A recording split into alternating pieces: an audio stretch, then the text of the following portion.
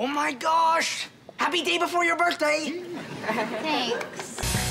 Hey, Maya. Mr. Moseby asked me to update the employee files. Why would he ask you? Full name? Maya Elizabeth Bennett. Gender? Still female. Favorite type of entertainment? I'd say sports. Favorite finger food? Buffalo wings. And my favorite finger? Pinky. Then why does Mr. Moseby need to know? Don't try and get inside Mr. Moseby's head. It's a twisted labyrinth you'll never find your way out of.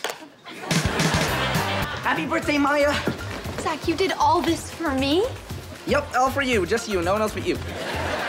You're so sweet, Zack. And is that Sean Kingston?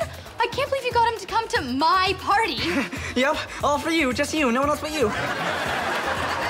Why did Sean just yell surprise to London?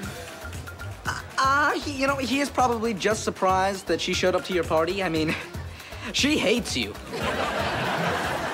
She does? Why? Uh, she just hates everything about you. Don't be sad. Here, have a hot wing. Mm.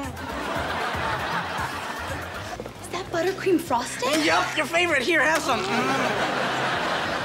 Oh, delicious. Oh,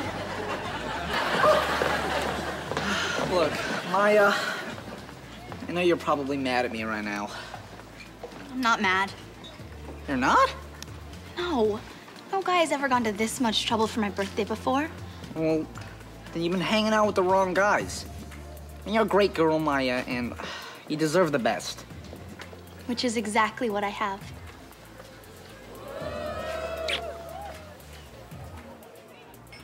Wow, I am so glad I didn't go with the macaroni necklace you make me